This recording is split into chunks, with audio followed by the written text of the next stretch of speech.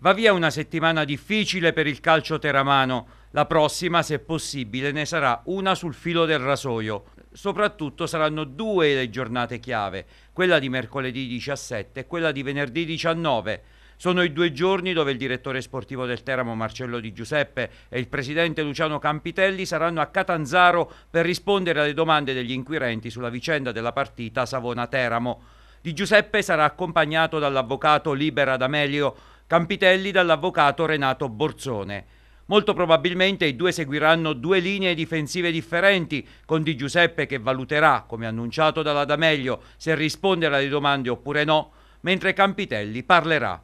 Parlerà e come il presidente biancorosso che continua a rivendicare la totale estraneità alla vicenda. E non è cosa di poco conto. Molto probabilmente Campitelli chiederà anche di sentire le intercettazioni telefoniche che lo riguarderebbero perché per lui sono inesistenti.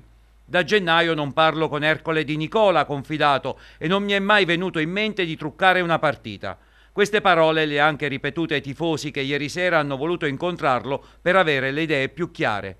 Campitelli, dopo due giorni di smarrimento, ha ripreso a lavorare per la squadra, tanto è vero che domani potrebbe arrivare un acquisto importante, quello di un centrocampista che se la trattativa andrà in porto sarà annunciato lunedì.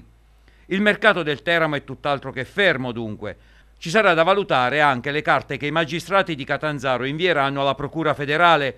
Il procuratore Stefano Palazzi non ha molto tempo per valutarle e sotto questo punto di vista il fattore tempo gioca a favore del Teramo.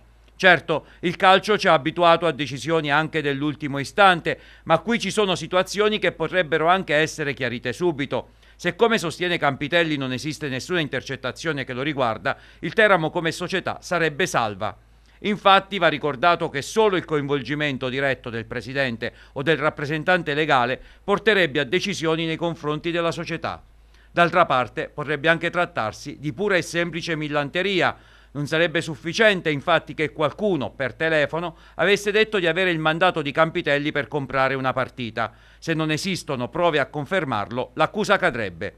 Venerdì comunque tutti avremo le idee più chiare, soprattutto gli inquirenti e lo stesso Campitelli.